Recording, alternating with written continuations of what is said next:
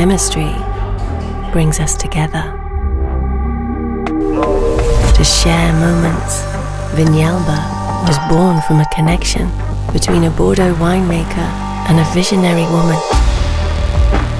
Together, they journeyed to Mendoza to create an exceptional wine.